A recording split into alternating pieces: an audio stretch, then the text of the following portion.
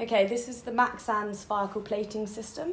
It comes in two trays. You've got the instrument tray and the implant tray. Let's talk you through the instrument tray to start with.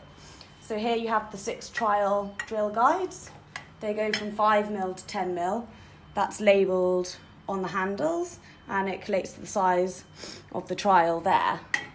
Okay. There's two quick connect handles. They are the sort of slide back mechanism and they go with the drill guide. So you've got three there. Mr. Russo uses 16 millimeters, which has got the blue sort of sleeve on.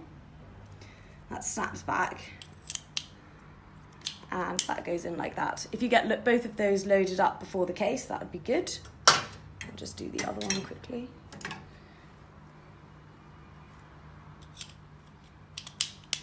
Okay, so that's those two loaded up.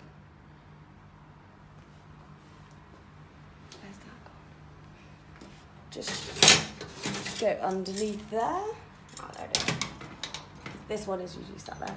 So this is the double barrel drill guide. It's worth getting that one out too for Mr. Russo. Okay. So next we have the screwdrivers to load up. So you've got two parts here with the purple end. They go into the two screw inserters. So down through the top of the handle.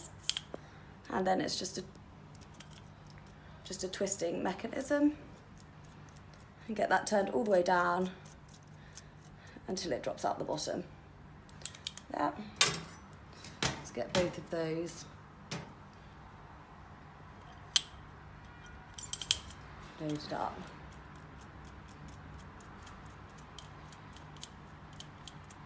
Okay, I will show you how to get a screw loaded up. Okay, so in this caddy, we have the plates and the screws. So I'll just show you underneath.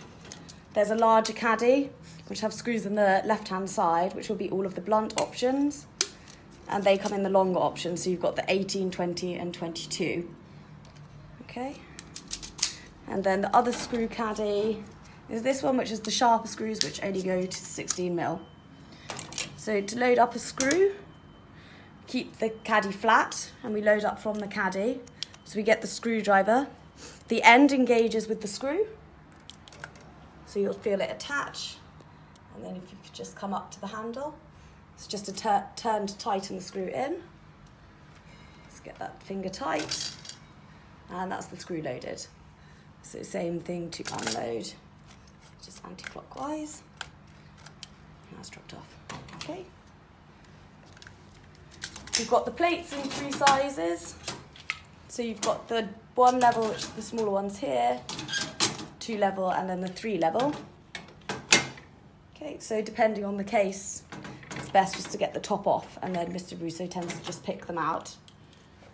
Okay, that's it. The screw removal guide um, for releasing from the rings of the plate essentially works like the screwdriver.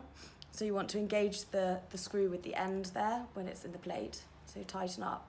And then you use this green turner, turn it all the way down into to the screw. Once that gets in, it releases the rings. You'll hear sort of a pop. And then just back the screw out like normal. Okay.